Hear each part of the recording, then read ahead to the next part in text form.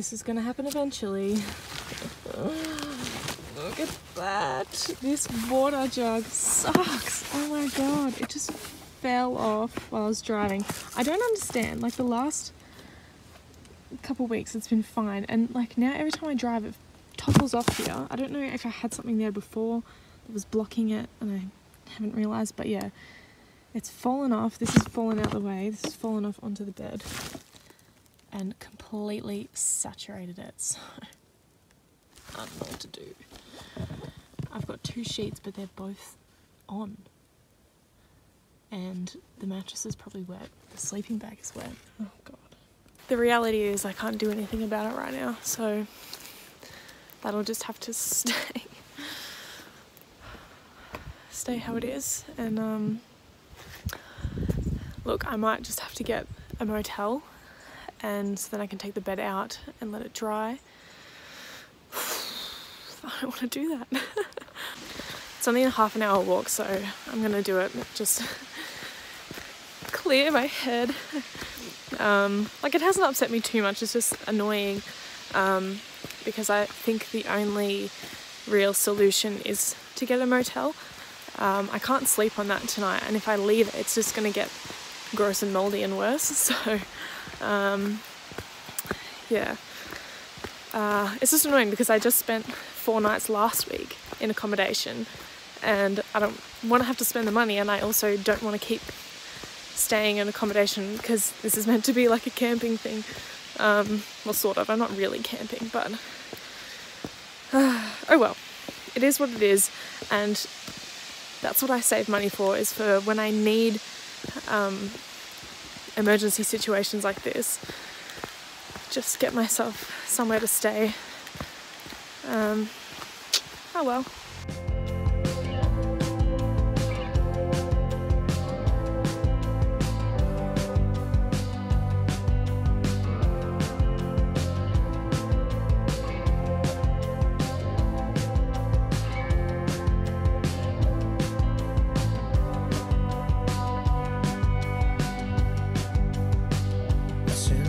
Blood, it's in my water. You tried to tame me, tame me from the start. Here I am. I did get a motel. I just figured it's just gonna be the easiest option. $90 for the night, and I've got two beds to choose from. Um, and I'm just airing out my mattress. I'll oh hey, I'll wash the um, the sheet and dry that. Not an ideal time for this to happen because I have to work and do uni today. Like, whoopsie. Um, but yeah, and I need to eat. Like I just went to Macca's and had a cheeseburger because I was like, alright, I don't know what to do right now and I don't have time to like get actual food. So I got a cheeseburger and sat in the car park and um, looked at motels and this one was close by, $90, which is pretty good. So, yep. oh yeah.